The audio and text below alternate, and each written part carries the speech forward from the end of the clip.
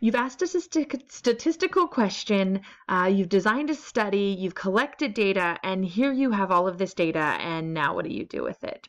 So let's pretend that these are the quiz scores from our last quiz, and I just wrote them down in the order that I corrected them. What do I do with this data now? Well, the first thing that I need to do is to put it in some kind of order so that I can really understand what's going on with this data. So we're going to put it in just numerical order. We're going to put the smallest on the left and the biggest on the right. Um, and now we can look at a few things. Um, the three things we're going to look at first are our measures of center. That's what we call them. And they're called mean, median, and mode. And many of you guys learned about these already, um, so you hopefully uh, have a little bit of an understanding of them. So I have a little rhyme for you.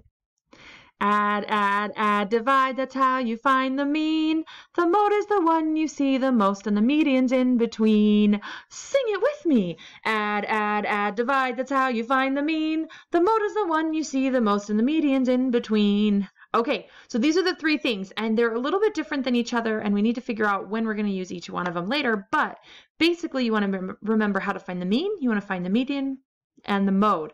Okay, so the mean, we add, add, add, divide. That's how we find the mean. So basically, we add up all of the numbers. Remember, mean is just another word for average.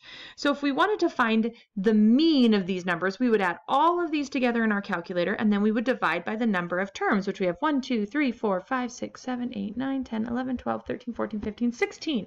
So we would add them all up and we would divide by 16. Let's pull up our calculator. When we add them all together, we get 186. We divide that by 16. And we get 11.625. So the average quiz score on this quiz was 11.625. So that's the mean. Remember, it's just another word for average. Uh, what is the median? If we remember our song, the median is in between. So the median is the middle number. So that's why it was important for us to put these in some kind of order because we can't um, find the middle number if they're not in order. So we have 16 and so what I like to do to find the middle number is I just start by crossing off one on each side. Um, if I cross off one here, I cross off one there, cross off one there, there, there, there.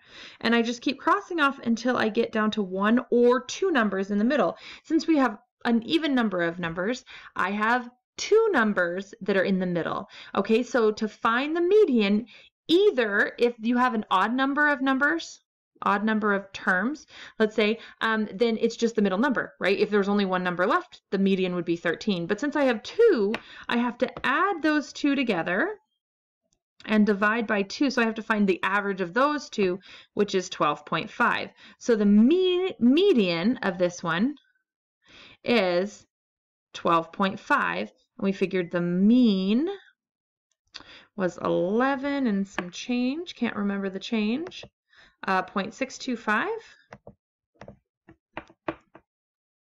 Okay, so our mean and our median tell us basically the center of our data, um, and median and mean tell us slightly different centers, um, but we'll talk about that later which one we would use better uh, for different things. Okay, then the mode, if you remember, the mode is the one we see the most.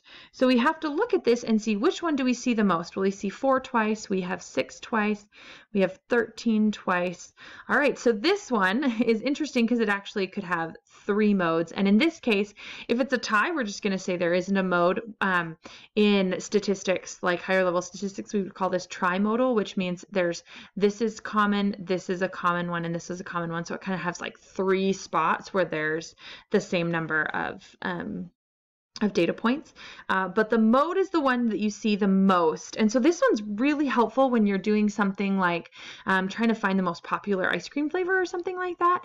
When we're taking categorical data, we can use the mode because it tells us um, the number of responses. So if I said, uh, what's your favorite ice cream flavor? Again, that's categorical because it's not something I can average. I can't say, well, the average ice cream flavor or the mean ice cream flavor is uh, vanilla.